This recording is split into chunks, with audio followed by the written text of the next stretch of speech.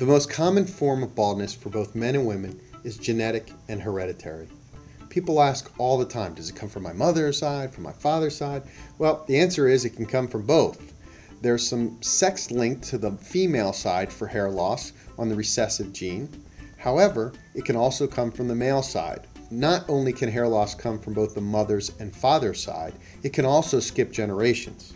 Often people who have the genes, or at least in their family, have male and female pattern hair loss, are really concerned about if it's going to happen to them. Is it going to affect them? Will they have the hair loss as well? Well, today we have a simple test that can be very effective.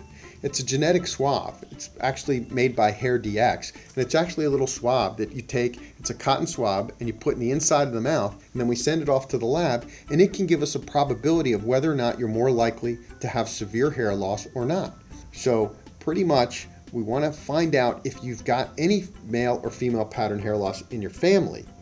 But even if you don't, it doesn't mean that you'll be safe.